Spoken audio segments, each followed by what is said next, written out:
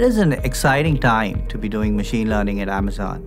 We have a ton of data. Uh, first of all, you know, customer purchase transactions, a catalog with over a billion products. Uh, this is the largest selection of products on the planet. Uh, we have millions of reviews and a variety of digital content, uh, ebooks, videos, audio, and so on. And uh, we have a broad set of very interesting and challenging problems where we are applying machine learning techniques to. Uh, for example, we're using machine learning to forecast the future demand for a product, uh, to predict the lowest competitor price, or to you know just find product substitutes and complements. We really help Amazon innovate on behalf of customers.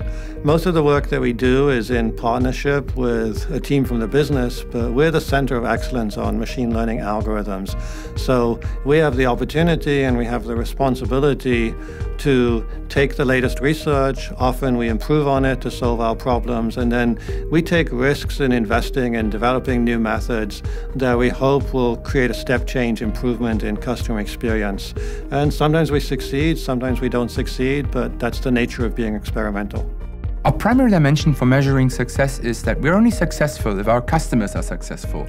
And our customers are our partners, the teams in retail, the teams in customer service, the teams in operations, the teams in Amazon Web Services, or the teams in digital. And with those teams, the, the measurable dimensions of success is do we increase selection for end customers? Do we lower the prices for them? And do we increase the the customer experience through the use of machine learning in these products? As a manager in machine learning, I'd say that I have two major goals. The first goal is to do the right thing for customers, to try to develop algorithms that will power experiences that customers will really welcome. The second goal is to do the right thing for the people in my team.